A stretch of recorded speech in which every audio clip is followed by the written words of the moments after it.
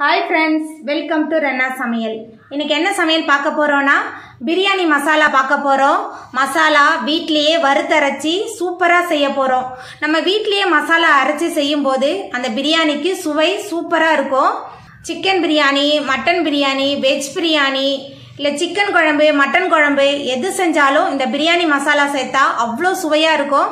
அந்த சுவையான பிரியாணி மசாலா எப்படி செய்கிறதுன்னு வாங்க பார்த்துடலாம் பிரியாணி மசாலா பண்ணுறதுக்கு பட்டை மராட்டி மொக்கு அன்னாசி பூ. எல்லாத்தையும் சேர்த்துடலாம். நாலு பட்டை அஞ்சு மராட்டி மொக்கு ஆறு ஏழு அன்னாசி பூ எடுத்திருக்கேன். அடுப்பை மிதமான தணலில் வச்சு எல்லாத்தையும் வறுத்துக்கலாம்.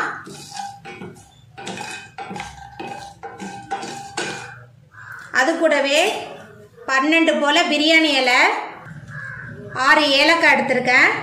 பதினஞ்சு போல் கிராம்பு. எல்லாத்தையும் சேர்த்துட்டு நல்லா வறுத்துக்கலாம்.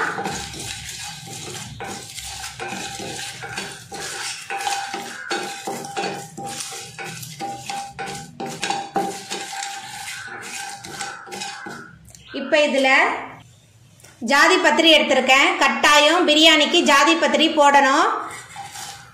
இருபத்தஞ்சு கிராம் எடுத்திருக்கேன் ஜாதி பத்திரி. இதையும் வறுத்துக்கலாம். பிரியாணிக்கு நல்ல சுவையை கொடுக்கறதே இந்த ஜாதி பத்திரி தான். மராட்டி மொக்கு ஜாதி பத்திரிலாம் சேர்க்கும் போது தான் பிரியாணி டேஸ்ட் நல்லா இருக்கும்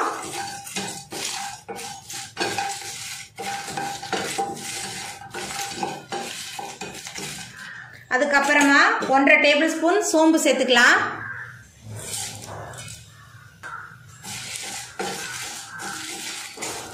சோம்பு சேர்த்துட்டு எல்லாத்தையும் மிதமான தணலில் வச்சு நல்லா வறுத்துடலாம். எண்ணெய் ஊற்றி வறுக்கக்கூடாது ட்ரையாக தான் வறுக்கணும். எண்ணெய் ஊற்றி வறுத்தா ரொம்ப நாளைக்கு ஸ்டோர் பண்ண முடியாது. நம்ம சேர்த்த பட்டை கிராம்பு ஏலக்காய் எல்லாமே நல்லா பொரிய ஆரம்பிச்சிருச்சு. இப்போ அடுப்பை ஆஃப் பண்ணிடலாம். அடுப்பை ஆஃப் பண்ணிவிட்டு ஆறுனதுக்கப்புறம் ஒரு மிக்சி ஜாரில் சேர்த்துட்டு அரைச்சிடலாம். நம்ம வறுத்ததை மிக்சி ஜாரில் மாற்றியாச்சு இப்போ அரைச்சிட்டு வந்துடலாம் நம்ம வறுத்ததை மிக்சி ஜாரில் சேர்த்துட்டு அரைச்சிட்டு வந்தாச்சு. அவ்வளோதாங்க.